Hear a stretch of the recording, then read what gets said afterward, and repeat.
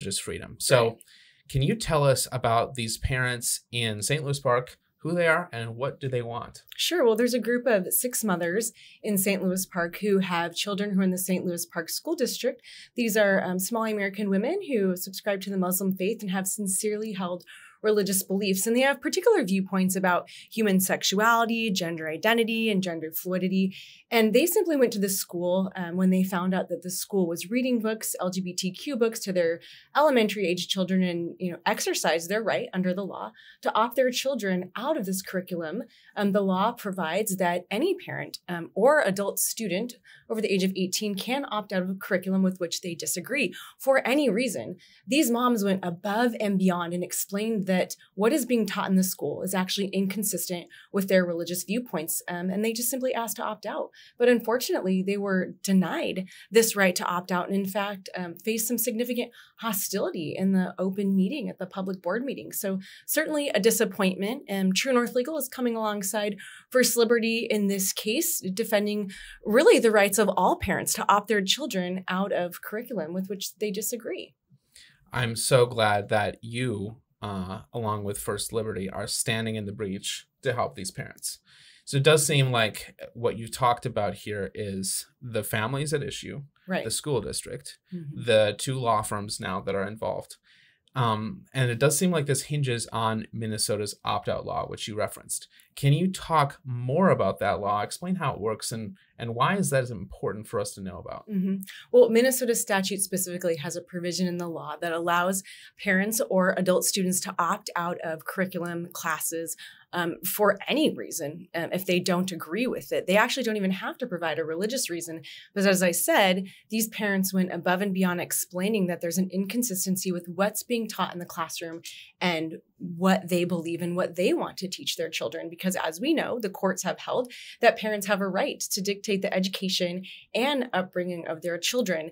Um, and the Minnesota opt out law honors that. The law's been on the books for a while. Again, it's one of the broadest laws in the country and certainly deserves our utmost protection as we head into session. We need to make sure that that law remains on the books. But it's it's not complex and you and I have talked about this before but True North Legal has engaged with many parents who've simply submitted um, a notification. It's just like a simple letter that states you know the topics with which the families or the student um, feels that they need to opt out of.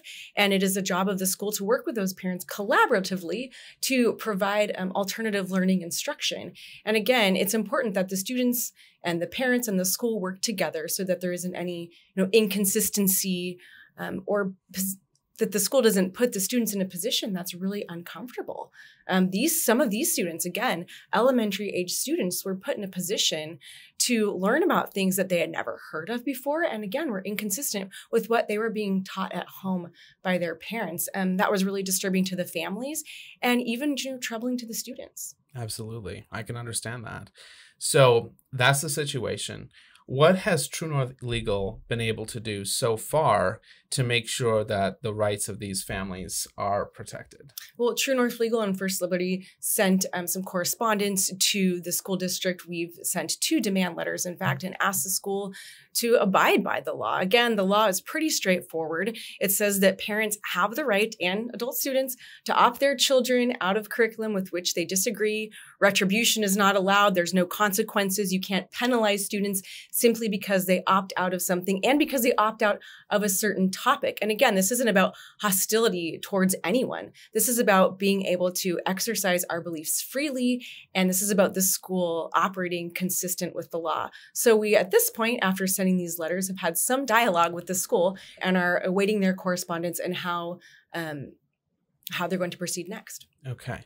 So, Renee, I think some of our listeners and viewers might be wondering in this case, are you defending one particular group or viewpoint or the religious freedom of all Minnesotans? We're absolutely defending the religious freedom of all Minnesotans. And in fact, even these women who are standing up to the school have acknowledged that there is a community of people of diverse faith backgrounds who are concerned about the school's imposition of LGBTQ ideology on their children. And they simply want the rights to be protected. So these women, while they subscribe to the same faith, Somali Americans of the Muslim faith, um, they are really representing. Um, many people who are concerned, um, including a lot of people of a diverse faith background. So Renee, I think all of us, our our audience, all of us here at MFC are so grateful for your work in this case and on um, and in so many others, many of which unfortunately don't get to see the light of day because of you know confidentiality and all that. And so there's just so many other cool things that Renee is always up to. Um, as the counsel for the plaintiff, what's your closing statement on this? You know, I've been thinking about this, um, obviously, mulling it over for the last couple of weeks. And I just find it ironic that in the name of inclusion, the district is actually excluding mm-hmm. people and not just anybody, but it seems to be targeting people for their religious beliefs. Um, and that is really uncalled for and inconsistent with the law, both state and federal law. So we look forward to the district um, coming to terms with this and understanding that, in fact, there's a really simple solution. Just provide the parents with the opt out that they deserve, consistent with the law, and then you know we can all move on. That sounds like a good plan to me. Um, we, I'm just so grateful, Renee, that you are here today, and we will keep you, our audience, updated uh, with any updates uh, as as this uh, this situation progresses.